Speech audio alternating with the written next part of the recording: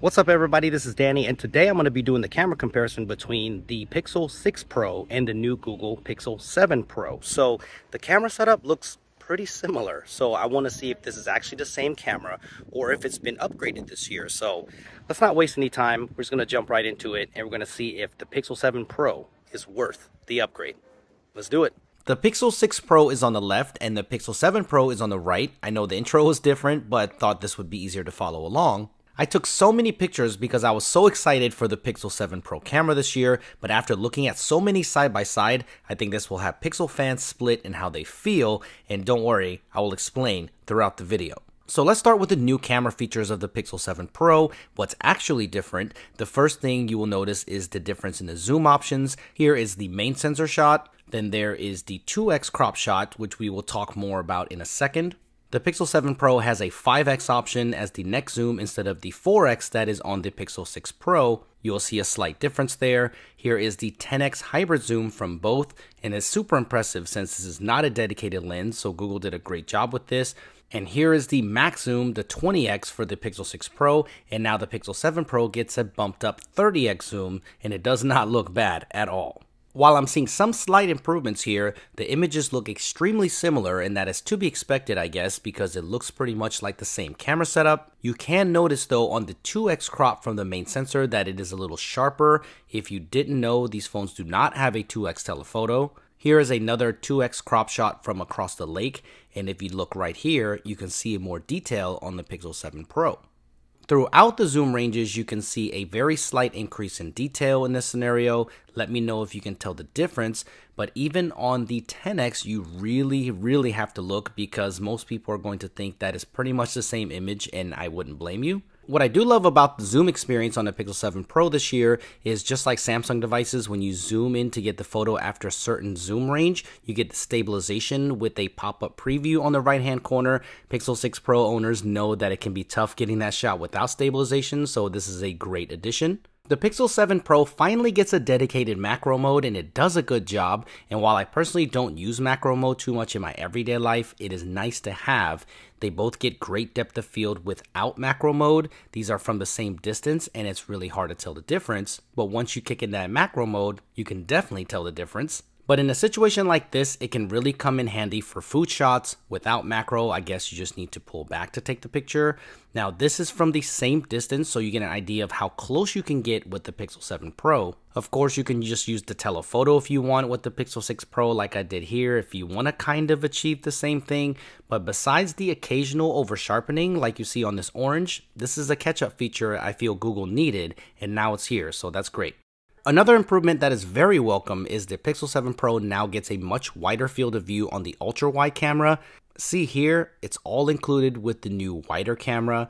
Now you can see it here clearly. The Tusker House sign is almost out of the frame on the 6 Pro, where on the 7 Pro it is well within the frame. Again, another catch up feature to put it in line with other flagships, but I'm really enjoying that extra field of view. Now that I've shown you the new features, let's talk about the overall daytime images. There are some minor changes with the white balance and overall approach of the photos, but again, I'm not going to sugarcoat this. I don't think that most people will be able to tell a difference at all during the day if you've upgraded, and that is expected because Google really didn't make false claims of a brand new sensor or anything. They are just doubling down on computational photography and really taking advantage of the existing sensors. I did notice that portrait mode looks more natural right out of the camera, the blur is tamed down, which I appreciate because that much background separation, in my opinion, doesn't make it look natural. And the Pixel 7 Pro looks like it's making more of an effort to move towards roll off. Look at how the rocks here are still visible, doing a much better job on the fence, and the background is more clearly visible. So I like this much better, so portrait mode users will be happier. Even when you get closer, the background is much more visible, so I like this approach straight out of the camera, even though I think you can change this when you edit. I think that some might even think that the images are worse due to the extra contrast approach on the Pixel 7 Pro. As a result, you get darker shadows, and I know some people might love that and some people might not like it as well. So it all depends on personal preference. So let me know in the comments what you think. I think that the comments are going to be split for sure, but in a blind camera test, I'm pretty sure that brighter and more colorful wins. I even did a lot of pixel peeping, and I think that the general public might even see the images as less sharp for example, take a look at this leaf. Now, I'm not saying that you won't get some better images. Take a look at this food shot. They look very similar, but when you punch in, you can see that there's more in focus with the meat. The steak looks about the same, maybe a little more detailed, but look at the chicken back here. It is a more refined shot. Sometimes you will get more defined shots too with the front facing camera, slightly better skin tones with better highlight control. This one I think has a little better white balance on the skin on the Pixel 7 Pro, but it isn't wildly different. And you could even say on this front facing portrait shot that the Pixel 6 Pro looks sharper, so that's what I've noticed. The reason why I'm taking this approach to this comparison is I want you to have the right mindset and expectation if you're planning to upgrade. If you want the new features, which are great, then upgrade for that. But if you're looking for a drastic image quality change during the day, you won't find it here unless things drastically change with software updates down the road. So if things do change, I'll definitely follow up. Let's talk about video before moving into low light this year. The Pixel 7 Pro gets 10-bit HDR video, and that's really hard to show here since it shows up like this when you put it on your computer.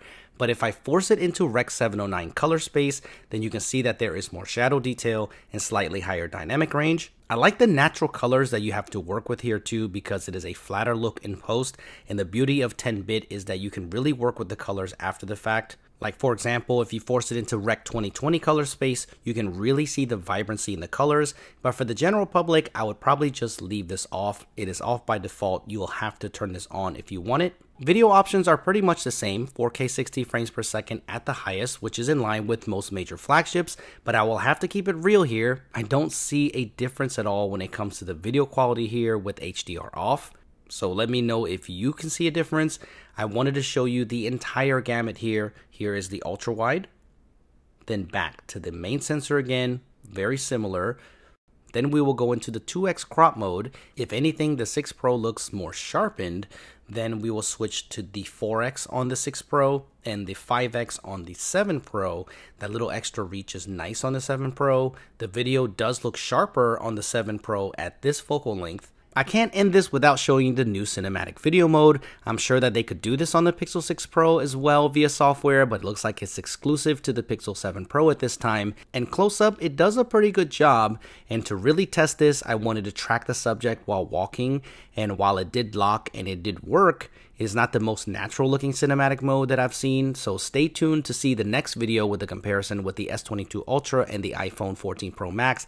That is a good one. You're not going to want to miss that. And this is an example of walking stabilization with 4K 30 frames per second. If you look closely, the Pixel 7 Pro is doing a better job picking up less of the micro jitters and keeping the entire frame more stable, but it isn't a drastic difference, so let me know if you can tell a difference or not. At night, it's again all about the subtle differences, besides one thing which I will get to in just a minute, but the differences here are much more noticeable than the daytime in my opinion. I'm noticing better dynamic range in handling brighter signs like this, and even the M&M signs look more defined on the building. I appreciate the more accurate skin tones too. There's slightly more saturation on the Pixel 7 Pro shot here, and I think that helps a lot right out of the camera.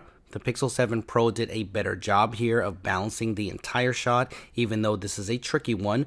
But just like the daytime with portrait shots, look back here, you can clearly see the sign where it's blurred on the Pixel 6 Pro. I think skin tones and front facing camera shots are going to be a preference thing. Some people like the brighter skin tones and some people don't. The Pixel 6 Pro keeps up well here, so I don't think you'll get FOMO if you don't upgrade for the newer front-facing camera. The detail is pretty much the same on both in multiple lighting scenarios. You could even say that the Pixel 6 Pro is a little sharper on my face here in night mode, and even the same here on this portrait shot.